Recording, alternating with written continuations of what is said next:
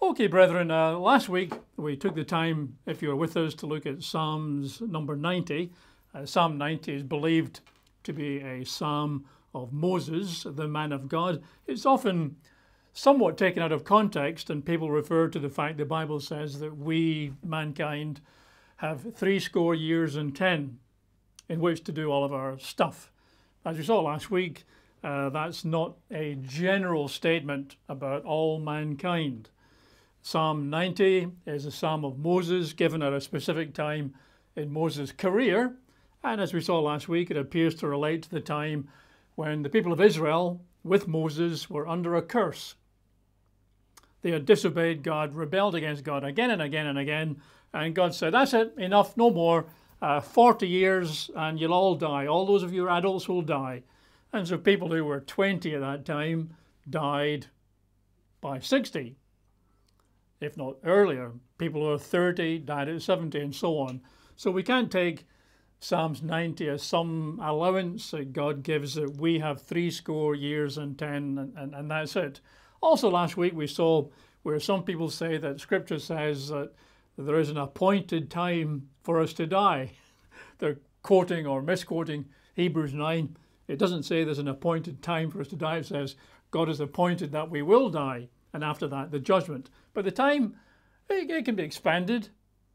We saw several proverbs that say God can add years, and of course, it can be shortened uh, for a whole number of reasons, right? So that's where we were last week. Um, this week, we're going to look at the next psalm, Psalms number 91. And Psalm 91 is a, one of the more popular uh, psalms out there. It's particularly popular among uh, military men. Uh, I should say, probably American military men and perhaps military women, which exist nowadays. I don't think it's probably that popular with British military men because in Britain we, we don't we don't do religion, right? But Americans are much more open about uh, the Christian religion, and it does seem uh, from lots of stories that at least American military men uh, do have a sort of a soft spot for Psalms 91. It's often called the Psalm of Protection. We'll see why in a moment. It's called the Soldier's Psalm. Uh, that appears to be because it's so popular among among the military. Uh, you hear all sorts of stories. Uh, military men in the First World War, Second World War, right up to today, who will memorize the psalm, who will recite it every day as they seek God's protection. Uh, they will often have it on their dog tags. They will have little cards with the uh, the psalm on it, uh, right? There are anecdotal stories. You can't always you know vouch for them being entirely accurate of brigades of soldiers in the past who had the psalm on a card, read it every day, and in theory at least, uh, that brigade, that company went through a war without any casualties. Some of those stories they might be you know well-meaning but not necessarily 100% accurate. One that is more accurate is uh, I think the well-known actor, at least many of us older people, we know him, Jimmy Stewart. If you know Jimmy Stewart, he was a famous uh, actor, famous for playing, I forget his name in the uh, It's a Wonderful World, so black and white movie from back in the 40s or 50s or something. 100 years ago. 100 years ago, yeah. But, but uh, uh, Jimmy Stewart was a, a, a fighter pilot in the Second World War, flew many missions over, over Europe when he went uh, across to Europe to, to, to, fly in his plane and so on, his father uh, gave him Psalms 91 and suggested to Jimmy Stewart that he, he read it every day. And pretty much he did. Every time Jimmy Stewart went into battle, he took Psalm 91, little booklet his dad gave him, and he read it and thought about it. And lo and behold, you know, he survived the war, as of course, you know, to be fair, you know, many did. So it's quite a popular psalm particularly because it refers again and again and again to protection and safety, which all of us, of course, you know, various times like the idea of. So we're going to look at Psalms 91. Uh, so you can open your Bibles there and we'll get started.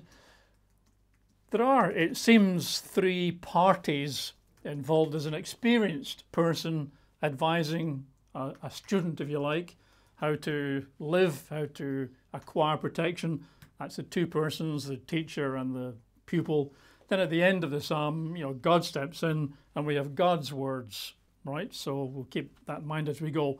So let's read the first uh, eight verses just to get, if you like, a, an early look at the theme of the psalm. So read Psalms 91, verses 1 through 8. He who dwells in the secret place of the Most High shall abide under the shadow of the Almighty. I will say of the Lord, He is my refuge and my fortress, my God. In Him I will trust. Surely He shall deliver you from the snare of the fowler and from the perilous pestilence. I guess nowadays, I think we're all more familiar with perilous pestilences than we once were, whether it's uh, the, the, famous COVID 19 or whether it's uh, monkeypox, or now in this country we've now got smallpox making a reappearance. And polio. Uh, and, uh, and polio. Verse 4 He shall cover you with his feathers, and under his wings you shall take refuge. His truth shall be your shield and buckler, your protection. You shall not be afraid of the terror or terrorist by night, nor of the arrow or missile that flies by day, nor of the pestilence that walks in darkness, nor of the destruction that lays waste at noonday.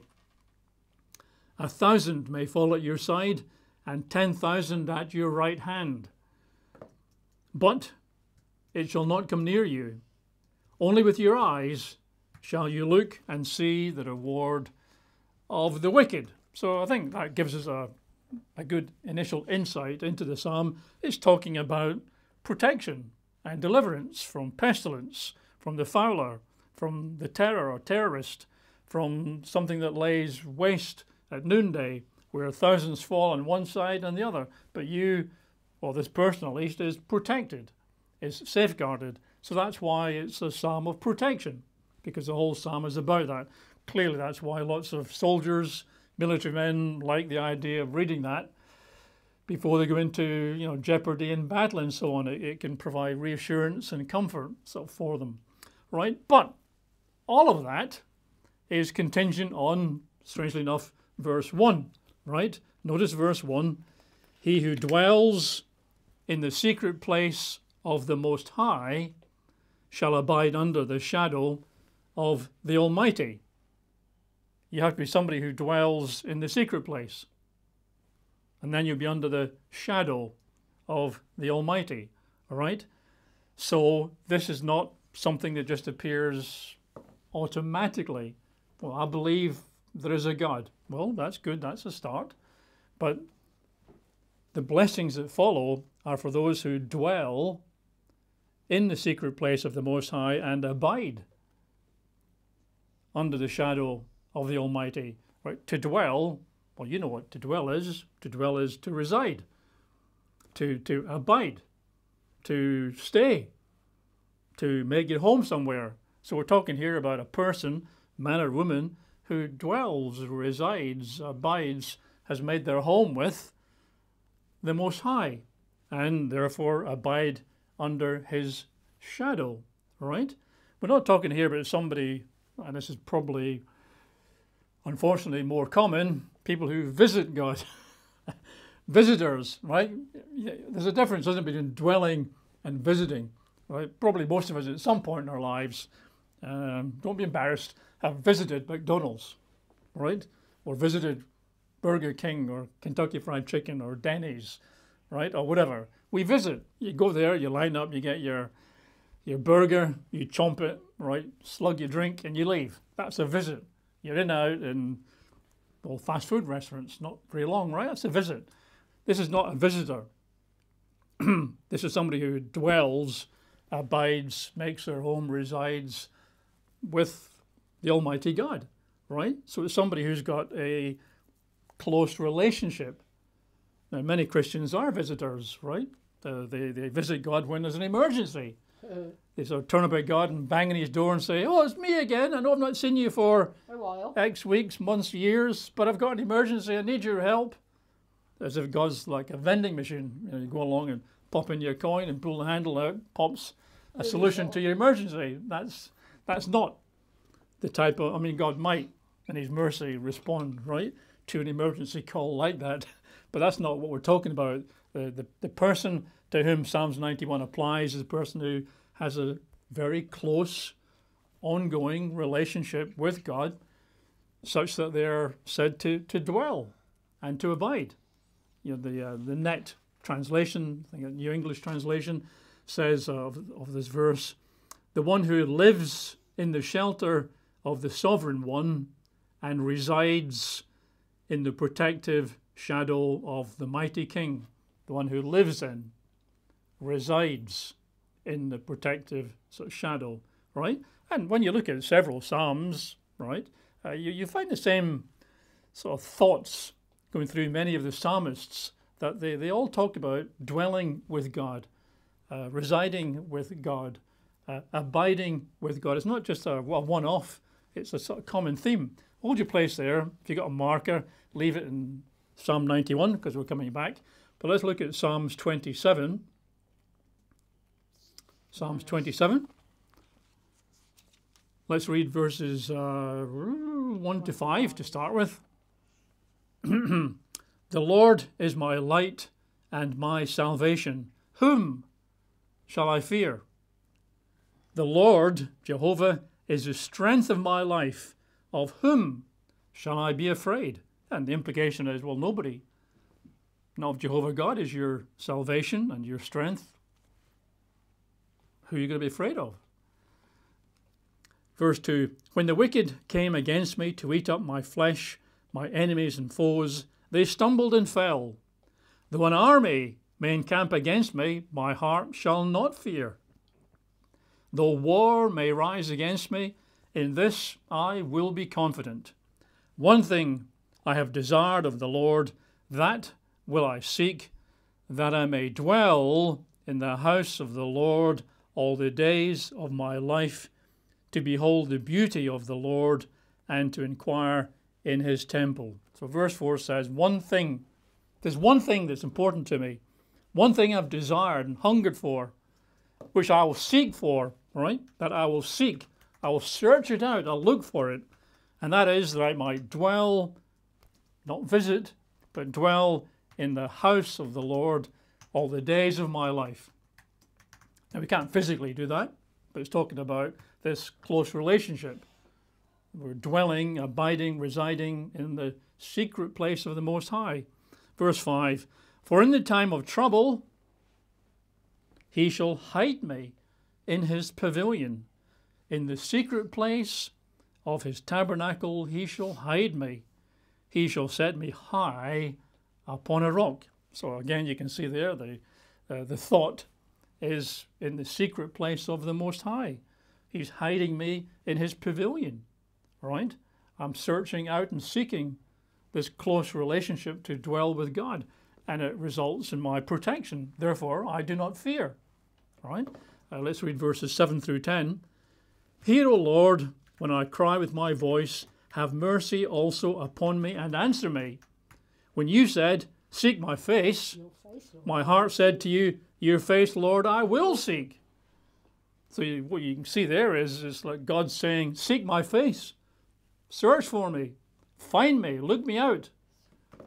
Verse 8 When you said, O Lord, seek my face, my heart responded to you, Your face, Lord, I will seek. And of course, to seek God's face means a pretty close relationship if you talk if you're talking to somebody face to face, we use that expression, right? It means you're in front of them.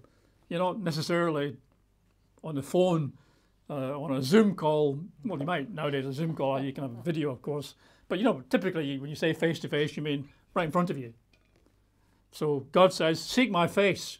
That means get close to me, and then the person responds, "I will seek your face," right? And seek it, all right.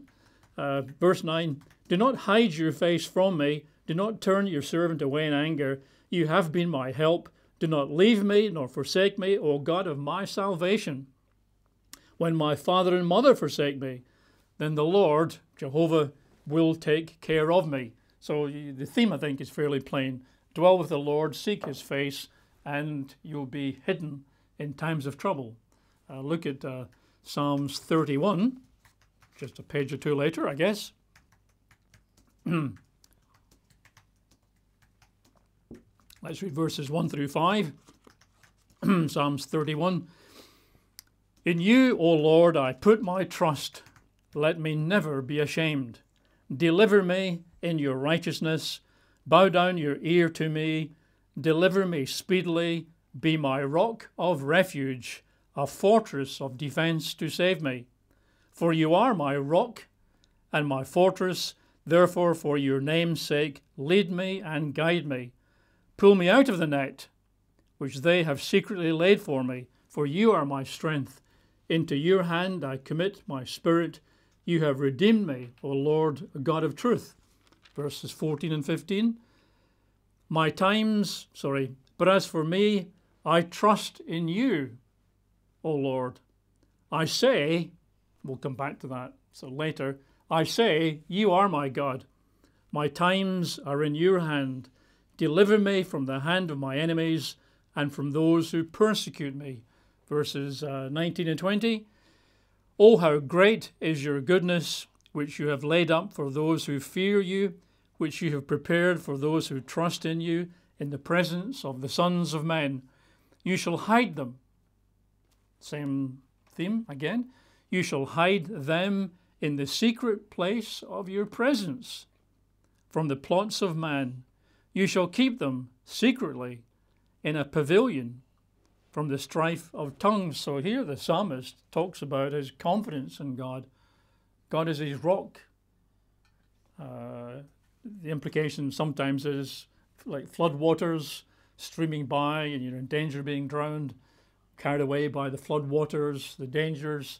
But if you can climb up into a high rock, then the waters can cascade below you and you're, you're fine up there and enjoying the sunshine, right? Maybe a little bird for company, parrot flying by stops and keeps you company. You look down at the water, the floods, the danger, but you're on a rock, a high place. You've got refuge. And it says in verse 20, you shall hide them in the secret place of your presence, right?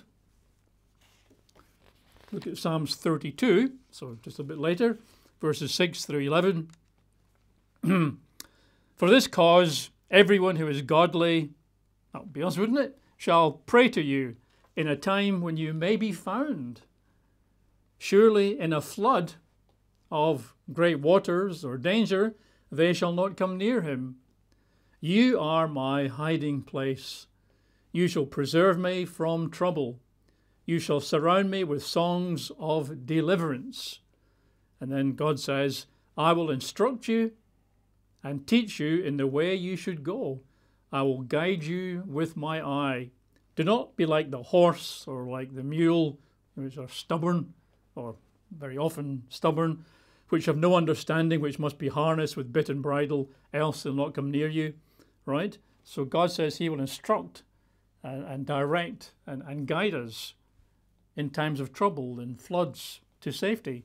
Verses 10 and 11 Many sorrows shall be to the wicked, but he who trusts in the Lord mercy shall surround him. Be glad in the Lord and rejoice, you righteous, and shout for joy, all you upright in heart. Right? So, you know, God is, like it says several places there, a hiding place, a refuge, a high rock in times of trouble. The psalmists understood that. We could look at, you know, a few more, but you see the theme popping up here and there. That the, the, the psalmists see God as real, and in times of trouble and danger, they can run to God. They can seek refuge with God, uh, right? They can be protected. They can hide from the troubles with God. And uh, it's good to run to God. They seem to know that. Not sure we always know that. I mean, ideally, of course, you dwell with God in his secret place under his shadow, and that's a choice, right? It's, it's not automatic. Psalms 91 is a, a great psalm of protection and blessing, but it's not automatic. Just because you keep the Sabbath day doesn't mean it automatically applies. Just because you keep the holy days doesn't mean the psalm applies. Just because right, you do anything doesn't mean the psalm applies. The psalm says in verse 1 to him who dwells, resides, abides in that secret place of the Almighty, right? That's the one to whom the psalm applies. Does the world around us dwell in God's secret place? Well, of course not. Does the church? Hmm. Does the church of God dwell in the secret place?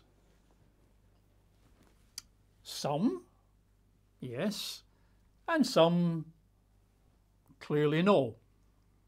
And you can see that if we turn to, let's say, Revelation chapter 2, a couple of places in Revelation looking at the seven churches in Asia, which we looked at not too long ago.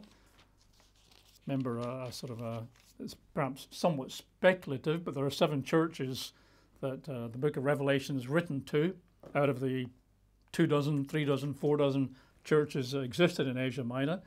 And we did say it uh, does appear to fit that each of those letters is to one of the seven consecutive years leading up to Jesus' return to the earth. Right, but anyway, that's beside the point. Just mentioning that in passing. So, Revelation 2 and verse 4 is addressed to the church in Ephesus. So, verse 4 is talking. So, here's Jesus, it's in red letters in my Bible. He's writing a letter to the brethren, the believers in Ephesus. And he says, verse 4 Nevertheless, I have this against you. You have left your first love. So if you've left your first love, are you dwelling in the secret place of the Most High? Are you abiding under the shelter, the shadow of the Almighty?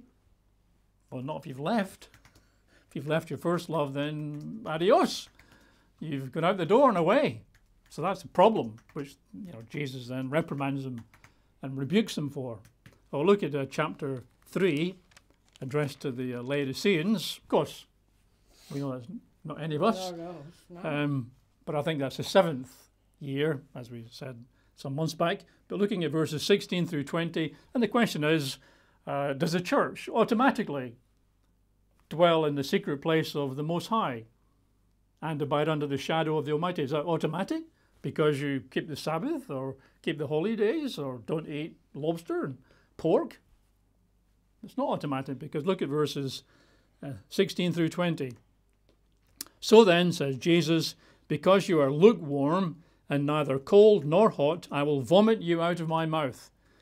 Because you say, I am rich, have become wealthy, and have need of nothing, proud and arrogant, and do not know that you are wretched miserable, poor, blind, and naked. I counsel you to buy from me gold refined in the fire, that you may be, if you like, genuinely rich, and white garments, that you may be clothed, that the shame of your nakedness may not be revealed, and anoint your eyes with eye salve, that you may see. As many as I love, I rebuke and chasten. Therefore, be zealous and repent. So, next verse tells us the, the answer to our question are, are these believers? Are they dwelling in the secret place of the Most High? Verse 20 Behold, says Jesus, I stand at the door and knock. If anyone hears my voice and opens the door, I will come into him and dine with him, and he with me. so, this bunch, whoever they are, right, they don't dwell in the secret place of the Most High. They're not abiding under the shadow of the Almighty. Jesus is knocking at the door. Let me in. Hey, open up, open up. Let me in. I want to dine with you. I want to sit with you. I want to fellowship with you. But he's, he's locked out, right? So quite clearly, this bunch, so the Ephesus group, uh, the Laodicean group, and some of the others as well, they don't dwell, reside, abide, have a close working relationship with God or Jesus Christ, right? So they fail verse 1 of Psalms 91. So let's go back to the psalm. If you've got your marker there, let's read uh, that was verse 1, all about dwelling, abiding in the secret place, which the psalmists frequently refer to. Verse 2 I will of the Lord, He is my refuge and my fortress, my God. In Him I will trust. Now notice, I will say. So the teacher here, I will say, I will speak. And that suggests speak out. right? Mouth. I will say of the Lord, He is my fortress, my rock, my protection, all the rest of it. I will say it. So that's that's like a confession. That suggests you know speaking out loud. It's a statement of faith of the psalmist. I'm going to say this, right? Now, obviously, you know we we believe in our hearts, right, and and we say with our mouths, right. Uh, we often say, you know, faith is found in two places, in the heart and in the mouth. Now, the problem, I, su- I suppose, with many of us is we believe it. We might believe that, right? In our hearts, we believe that. God's my refuge. I believe that. But we don't say it.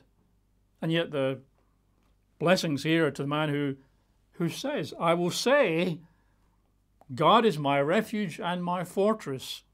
I trust him. I will say it, right? Now, if, if we say something out loud, we actually use our mouth and our tongues. Well, if we say that, God, God hears it. We hear it. And we hear ourselves, might reassure and, and reinforce it in our minds. Uh, the angels hear it. Any demons that are nearby hear it. So there is something about saying something out loud that, that changes it from being just an internal, quiet belief. So you could ask the question, we'll come back to later. Would anybody ever hear us say that? Yep. right? Not necessarily your spouse or your dog, but you know, would anybody, if there was a demon making his way through your house in the coming week, uh, would the demon hear you say something like that? Would an angel hear you saying that, or is it just something that you know, we keep in our hearts? We don't actually say it, right? And of course, you can see there that this person who says this says, God is my refuge. He is my fortress. I trust God. Says it out loud, but clearly putting his trust in God. Do we? I mean, uh, or do we have a tendency, much of the time, other than dire emergencies, to put our trust in people, organizations, institutions, right? Look at Ministers. we're in Psalms. Look at Psalms 146. I'm going to read verses uh, 3 through 7. Psalms 146, verses 3 through 7. Uh, verse 3, I guess, is almost in a sense the key one. Do not put your trust in princes, nor in a son of man in whom there is no help. Don't put your trust in princes. Uh, when I'm praying to God, I usually replace that as and politicians. Don't put your trust in princes, in politicians, in world leaders, right? Mostly because they're hopelessly corrupt or hopelessly incompetent. One of the two, right? Both. And probably both, right? So don't put your trust in these people. They've got agendas, right? They are biased in their own way. They may well despise you, look down on you, not be interested in your problems. Do not put your trust. That's that's that's a valuable principle. Do not put your trust in princes, right? Whether it's Joe Biden, Nancy Pelosi, the hypocrite Boris Johnson, the nincompoop Justin Trudeau, any of these people, right? Uh, do not put your trust in princes, nor in a son of man in whom there's no help, because even if there's something they could do for you, even if in some specific instance they could be of some help, verse 3 his spirit departs, or his breath, he returns to his earth. In that very day, his plans, projects, thoughts perish. Because even if you found somebody you could actually rely on a little bit, the odds are they'll die. Well, not the odds they will die for sure, right? Just might die before your plans have come to fruition. Verse 5 Happy is he who has the God of Jacob for his help. Now, that's different, see? Whose hope is in Jehovah, his God, who made heaven and earth, the sea, and all that is in them, who keeps the truth forever, who executes justice for the oppressed. We have to be patient, but there will be justice for the oppressed, who gives food to the hungry. Jehovah gives freedom to the prisoners. You don't trust princes, politicians, world leaders, institutions, organizations, media companies, right? Because although they might now and then, somewhere along the line, get some limited help, it's limited. And very often, of course, these people even with the best will in the world, they, they die, and that's the end of the help they may have been thinking of giving you. But put your trust in God, oh, the Creator, who made heaven and earth, the sea and all that's in them, who, who lives forever. That's a different kettle of fish, right? Um, and clearly, the, the, the man or woman of Psalm 91 says, God, the Creator God of heaven and earth and the sea and all that's in them, He is my refuge and my help. That's where He looks, right? That's a far better place to look. If you turn to Psalms 71, Psalms 71.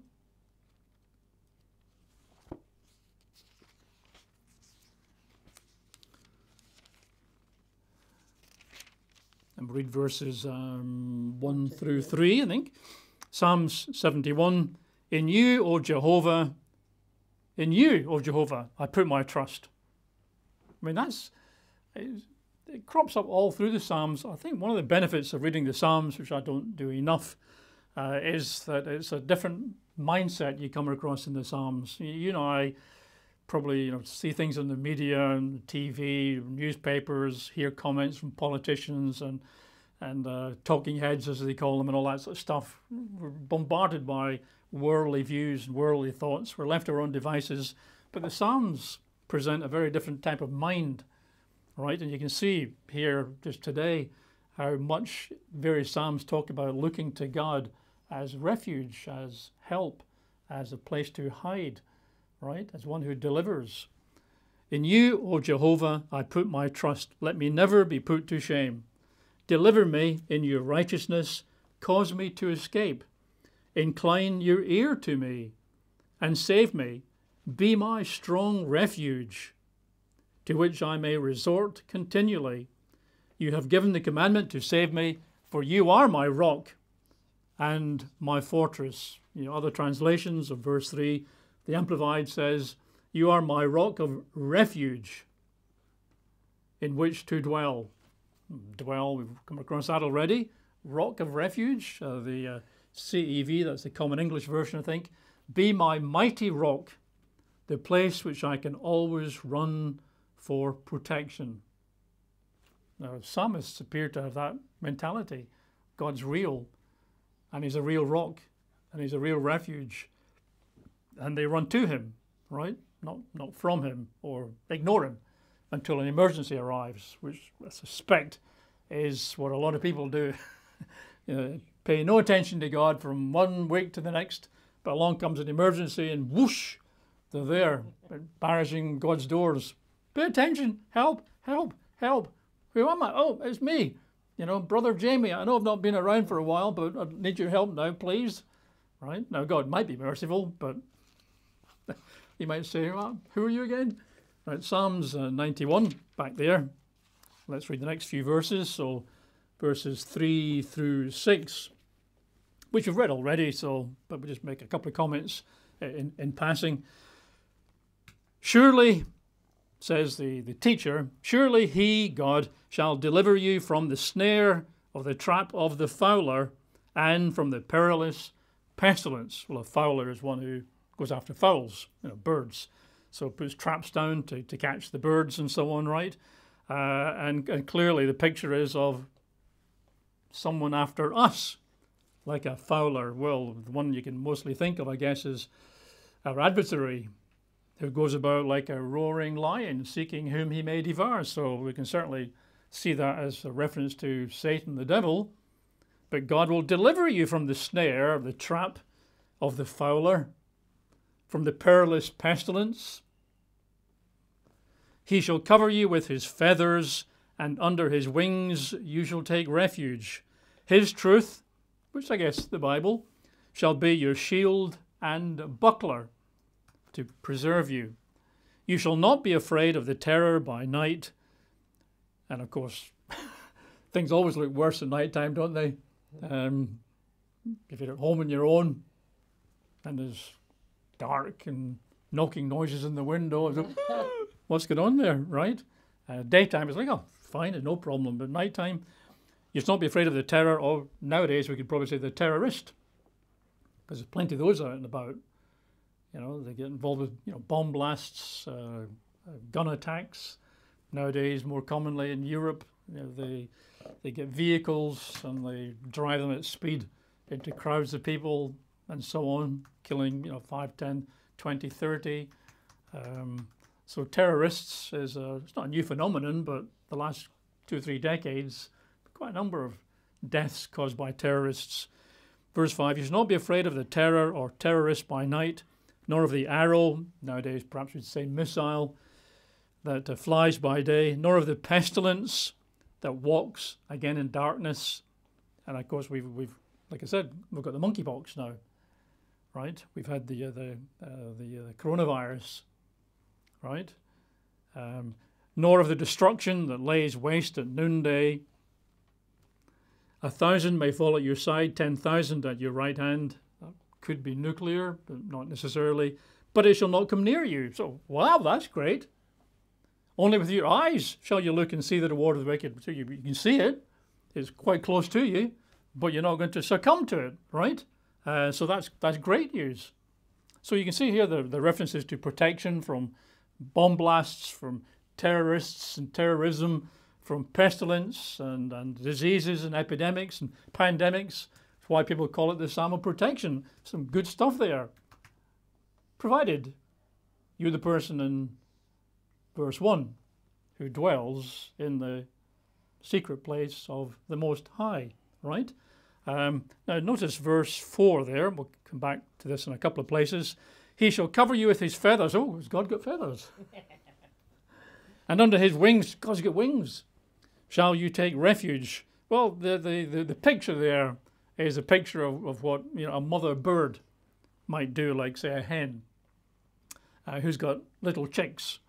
And uh, when the mother bird sees danger, perhaps a fox heading towards where the, the birds are, maybe up in the sky, a hawk sort of looking around for some grub. And the mother hen, you know, makes a sound, and the little chicks come racing and hide under the mother hen's wings. That's the story there. He shall cover you with his, with his feathers. Under his wings you shall take refuge. It's a picture of the maternal protection, even of a bird, towards its, its young. And, and God's that way. I think we have a picture we can sort of show here. Yeah, there you go. That's a mother hen is that two little chicks there? Plus some others. Oh, some, of the, some on the right as well are there. I can see a white one in the middle The and a sort of a blackish one I think it is on the on the, the left as I'm looking at it. So there's a mother hen uh, protecting her chicks. That's what that's what mother hens do, and, and the scripture here says that's what God does, right? God is like a mother hen protect. I mean, it's God that designed that, right? And it's a again looking through the Psalms, it's a fairly common picture that's in the forefront of the minds of the psalmists. Look at Psalm 61. And I suppose my concern would be that, that myself included, we perhaps don't often think of God as our protector in a meaningful way, right? And yet the psalmists, it's the forefront of their thinking. So Psalm 61, verses 1 through 4. Uh, Hear my cry, O God, attend to my prayer. So you put a bit of a, you know, emphasis on this. From the end of the earth I'll cry to you when my heart is overwhelmed. Lead me to the rock that is higher than I, for you have been a shelter for me, a strong tower from the enemy. I will abide in your tabernacle forever. I will trust in the shelter of your wings. So it's that same picture. I mean, probably people in these days who had you know, cows around them and donkeys and and birds and chickens and hens and whatnot. They saw these pictures, you know, day in day out, little birds scampering under the mum's wings for protection. They saw that. I mean, unfortunately, I'm a city dweller. I've never been that close, really, to uh, to animals. I've seen them occasionally when I've walked in the countryside. I've been to the zoo, whatnot. Right, but I don't have the picture that people growing up with chickens and hens and birds and sheep and goats and cattle and so on around. Uh, so these pictures you see occasionally are, are, are helpful. Uh, and of course, you know, Jesus used the same picture, probably because he'd seen it growing up as a young man in Galilee, in Nazareth, and down at Capernaum and so on, and probably because he was familiar with these passages in Psalms. So look at Jesus' comments in Matthew 23. So, Matthew chapter 23.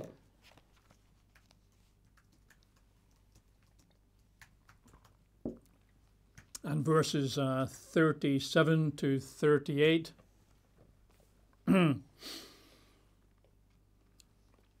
Getting towards the end of Jesus' physical ministry before he was arrested and crucified and so on. Uh, oh, Jerusalem, Jerusalem, the one who kills the prophets and stones those who are sent to her. I mean, that's so ludicrous. Who are they stoning?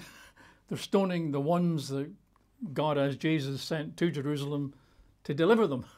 So God's sending messengers to the people of Jerusalem saying, Repent, change your direction. I want to preserve and protect you. What they do? They stone them. Stones those who are sent to her. How often, says Jesus, I wanted to gather your children together as a hen gathers her chicks under her wings, but you were not willing. See, your house is left to you desolate. And 40 years later, Jerusalem would be destroyed. Desolate, right? But it says there, you know, Jesus says there, how often in his former life as the as the Word, capital W, as the Jehovah of the Old Testament, how often I wanted to gather your children together as a hen gathers her chicks under her wings, but you were not willing. Jesus wanted to do it. Jesus desired to protect and preserve, secure, look after them. They weren't willing. Their choice, right? So let's again have another look at that, that picture. There you go. That's what Jesus wanted to do to the people of Jerusalem. Like a mother hen protecting her chicks, Jesus wanted to do that. The chicks in this case were useless, right? And paid no attention. And you can't do that. I mean, any chick who wants to be independent in the real world of hens and chickens, right? When, when the mother hen sees the, the hawk in the sky or senses the fox heading towards it, she'll make her sounds, come on, guys and gals, under my wings. And any sensible chick races to under the wings where the mum can provide a bit of security, right? Any chick who wants to be independent, yeah, sorry, no, I can, I can handle this, folks. What? That buzzard, not a problem to me, right? I've done some jujitsu, right? Well, I'm going to say they're toast, but they're not toast, of course, but they're dead chick, right? So any chick who wants to refuse the protection that God's designed into the system is a stupid chick and probably a dead chick. And clearly there's a lesson there for you and me. If, if we ignore the protection that, that God's making available, his wings stretched out under which we can shelter, if we want to ignore that and say, well, I could do it, you know, I've done a course, how to protect myself from harm and difficulty. Well, fair enough. But it. don't be surprised if you end up like a dead chicken, right? Um, and perhaps if we spent more time in the Psalms, getting the, sort of the, the mindset of the psalmists, and, and seeing God again and again referred to as refuge, protection, security, deliverance, and safety, it might help us, right? So looking back at Psalms 91, I guess we've got to turn back there.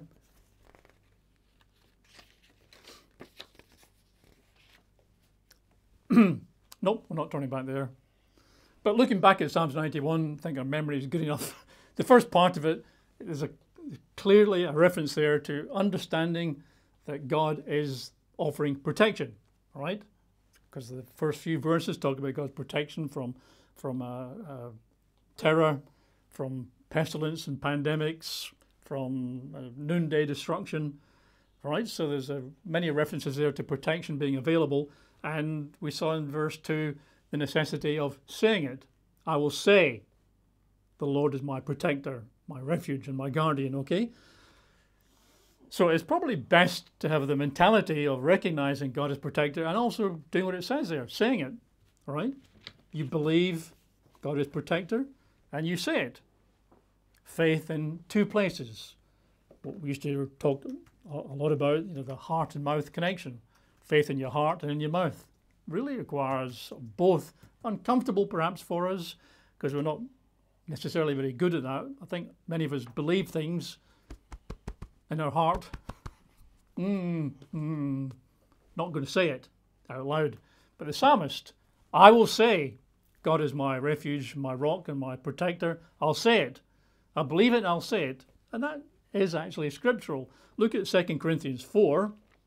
Turn to 2 Corinthians in chapter 4, I'm going to read verses uh, 13 and 14. So 2 Corinthians 4, 13 and 14. And in the earlier verses, which we're not reading, uh, Paul's referring to the difficulties he and his crusade team were experiencing at that time. Um, they were hard pressed, perplexed, persecuted, struck down, right? It had been a difficult experience they've gone through. And he could have said, Well, that's it, giving up. I didn't, I didn't bank in all this opposition as one of God's apostles, right? But verses 16 through 13 through 14, verse 13.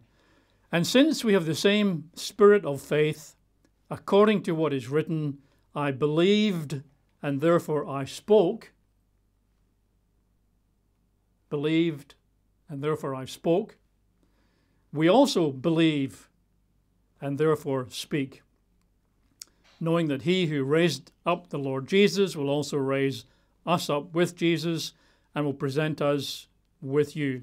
So, what Paul's saying is that even though they were going through these trials, uh, this opposition, these difficulties, perplexed, hard pressed, and so on, he believed that they'd be delivered. And so he spoke. You know, in italics there, verse 13. In the Old Testament, I believed and therefore I spoke. We also believe and therefore speak. So, in other words, he's implying that the spirit of faith means that you will speak what you believe right? If you believe you're going to go under, we're going to go under, folks. Okay, Barnabas and Silas, we're going to go under. This is our last message anywhere. We'll be dead by the end of the week. If you believe that and say that, the odds are It's going to happen. it's going to happen, right?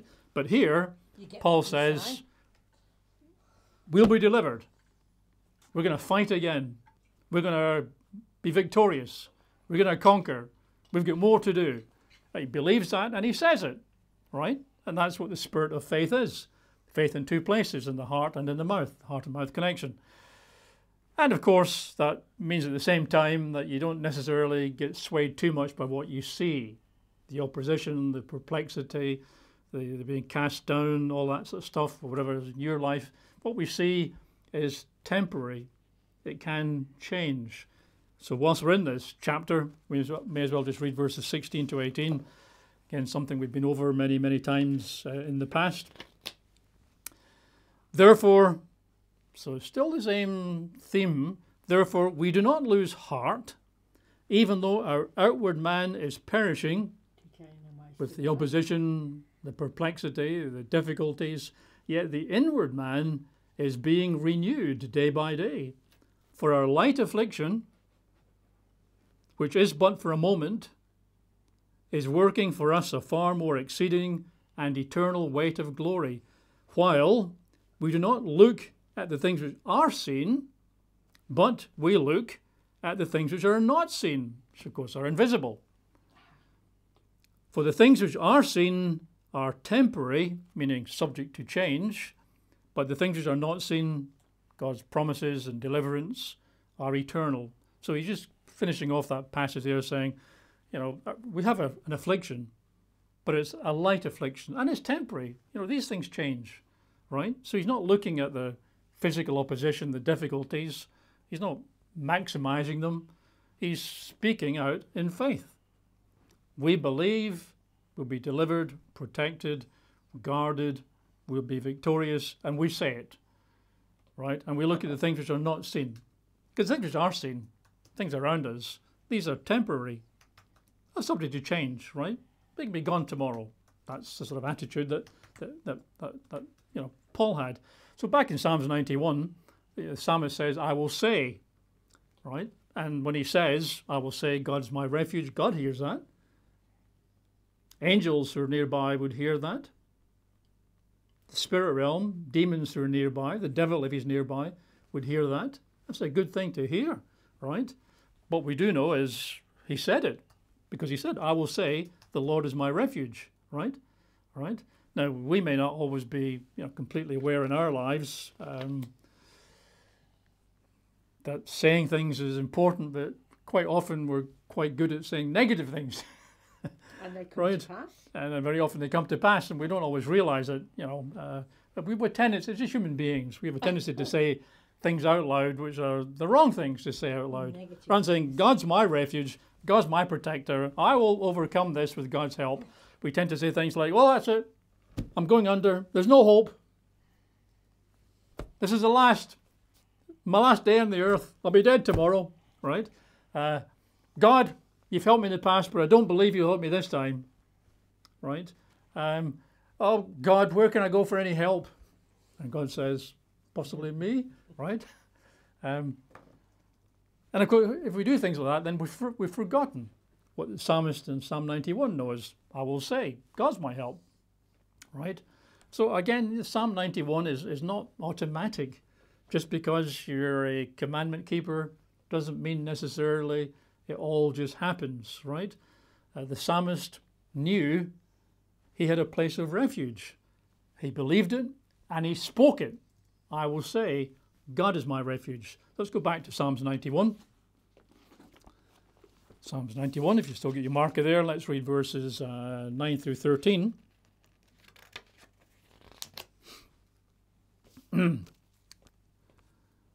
because you have made the Lord, who is my refuge, even the Most High, your dwelling place, dwelling place, no evil shall befall you, nor shall any plague come near your dwelling.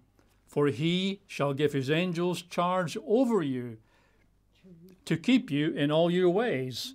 In their hands they shall bear you up, lest you dash your foot against a stone. You shall tread upon the lion and the cobra, the young lion and the serpent you shall trample underfoot. So here's some good benefits, right? To the one who's made the Most High his dwelling place, right? Now, just in passing, it says verses 11 and 12 He shall give his angels charge over you. Verse 12 In their hands they shall bear you up, lest you dash your foot against a stone. You might recognize that. that phrase there is quoted by the devil. When Jesus went into the wilderness for 40 days and was tempted by the tempter, the devil came to him and, and took him up in a pinnacle, a high place on the temple, said, Jump off, let's see you float down, because it is written, Jesus, that he shall give his angels charge over you. In their hands they shall bear you up, lest you dash your foot against a stone. So the devil quoted that from Psalms 91 to Jesus. Bit of a gall, of course, but that's what he did anyway. And Jesus said, you know, clear off. You shall not tempt the Lord your God, right? Because that was misquoting it. It's, it's not talking about deliberately jumping off a high building, seeing whether God will bring you down softly and slowly. It's talking about, you know, an accident of some sort, like the, the day that, uh, you know, Paul was bitten by a snake. Lands in Malta after the shipwreck, snake bites onto him when he's gathering, you know, uh, twigs for the fire, and all the people in Malta said, "Oh, he must be a wicked sinner. He's going to swell up and drop dead now because Paul didn't. Oh, he must be a god, right?" That was a, a, an unfortunate accident to be bitten by a venomous snake. So you'd be protected things like that, but not not deliberate. So what the devil is doing there is is taking the scripture out of context. Doesn't mean tempt the Lord to keep you safe when you're being an idiot, right? It means if inadvertently. But one of the, the sort of side lessons here is the devil quotes scripture, right?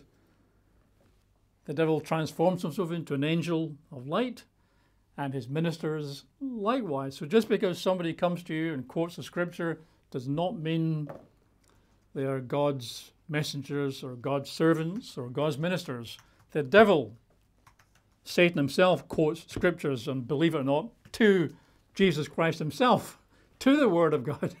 I mean, the, the you know, gall, like I say, of Satan doing that. But to you and me, just, just bear in mind when you hear God's word being preached, that doesn't guarantee it's honest or it's from a man or woman of God because Satan, the devil, can do it himself.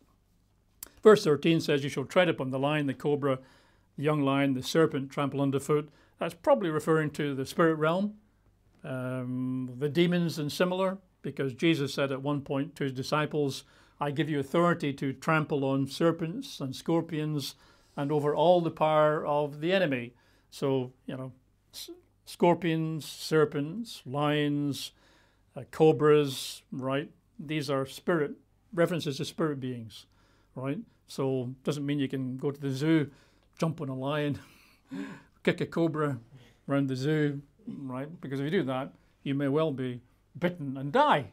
Like there's, uh, they're American, I've got to say. Don't think we're getting in Britain, but there are some American churches that do throw snakes around. You can see videos of them, right? And they get bitten by snakes. and impervious because Mark 16 says it'll take up serpents, won't harm them. Of course, every year one or two of them, you know, die. They swell up and drop dead because that's not the scripture. It was a bit inadvertent, accidental, not not sticking your neck out. Anyway, so that's that's that. Um, then the final sort of few verses, 14 through 16, uh, the, the, the speaker changes from being the the uh, the, the elder advising the younger, and this is God speaking now. So God's heard this discussion, this conversation. Now God steps forward. Verses 14 through 16. Because he has set his love upon me, capital M, therefore I will deliver him. Because, right? Now God steps in and says, Because he has set his love upon me. Therefore, I will deliver him. So, again, not automatic, not just going through the motions. God says these blessings are for the person, the man or woman who sets his love upon God. Not just going through the motions, not doing it grumbling. Oh, I wish God hadn't called me till later in life when I'd had a really good time of fast women and fast cars and all. Why did God call me so early on? Didn't have fun in my life, right?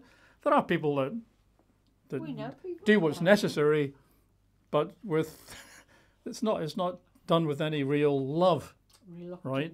In fact, we just read that in Revelation uh, 2. They have left their first love. Well, the person here that God's looking at is somebody who sets his love on God. Because he has set his love upon me, therefore, that's why I will deliver him. I will set him on high because he has known my name. And God's name uh, obviously includes what God is his nature, his power, his goodness, his patience, to know God's name is to know God, to be familiar with God. He shall call upon me, and I will answer him. I'll be with him in trouble. This is the person who sets his love on God, who knows God's name. Uh, verse 15 again He shall call upon me, and I will answer him. I'll be with him in trouble. I will deliver him and honor him. With long life, I will satisfy him and show him my salvation. It says, with long life, the margin is with length of days, I will satisfy him and show him my salvation. So what does it mean with long life, I will satisfy him? You know, people say the previous psalm, three score years and ten, or at a push, four score. That's it, right? But we said last week that's, that's not that's out of context. This is people under a curse, 70 years or maybe at a push 80. That's not a general comment. Here, the comment is that God, God says to the person who loves him and clearly who dwells in his secret place, with long life, I will satisfy him and show him my salvation. And the impression there is, how long is that? Well, that's up to the person. If they're not satisfied, they can look for more. Right? It's not says that God will decide it's the person. With long life, I'll sat- when he's satisfied, when she's satisfied, we're done. If that person's not satisfied, well, ask her a bit more. Uh, Albert Barnes, in his commentary, it's pretty good commentary. It's free, that makes it even more attractive. But if you, buy, if you buy one of these, uh, not buy, but if you have one of these Bible apps, we get lots of translations of the Bible for nothing. Fantastic, really. But uh, you get commentaries. Adam Clarke's commentary is typically free, public domain. So is the Albert Barnes. Albert Barnes says of this verse here, the meaning is, so verse 16, the meaning is, I will give him length of days as he desires, or until he is satisfied with life. So if one's not satisfied, ask for more, provided, of course, you've set your love on God and dwell in his secret place, right? Um, so it's quite an encouraging psalm. You can see why you know, it's popular, why people like it. You can see why military men and women who go into you know grave danger. Jimmy Stewart, I think he had quite a number of missions he flew over uh, Europe in the Second World War. You can see why people are in danger like the idea of I think God might look after me if I if I honor God and you know, put my heart in God. Then so you can see why it's a very popular psalm. All we have to do, of course, is is believe it, receive it, and of course fit in with the description. Do you or I dwell in the secret place of the Most High? Our choice, right? Uh, and of course, in part, that requires us to renew our minds. Book of Psalms is, I think, quite helpful in that sense because we're in the world and we get all the nonsense from the world into our face day in, day out, day in, day out. But renewing our mind means uh, typically spending some time in God's Word. Right? I guess the longer the better. And the Book of Psalms is a good place for encouraging us that God is there and God has always helped His people historically. And uh, like we said last week, you know, um, the average American, sorry, Americans, but we don't have the same polls here. But You Canadians I think okay. I think the numbers are probably very similar. The average American spends over five hours a day watching TV or similar, right? The average churchgoer in America spends five to thirty minutes a day in their Bible. What's renewing your mind? The world, you know, MSNBC, CNN, Fox News, or or the Word of God, right? That's that's our catch really. We have a choice to to renew our minds with God's Word, like what the Psalms shows us, and so on. So how are we doing? How are you doing? Do you, do I dwell in the secret place of the Most High? Right? Do we speak out our faith? Well, uh, I say God's my protector. I say God is my deliverer. I say God is my refuge. Oh, you never hear those words out of your mouth or my mouth. right? There's an offer here of protection and uh, security and even a long life to satisfy us, right? The choice really is ours. Like I said a couple of weeks back, the clock is ticking, so let's not ignore it. And with that, we'll conclude today's Bible study.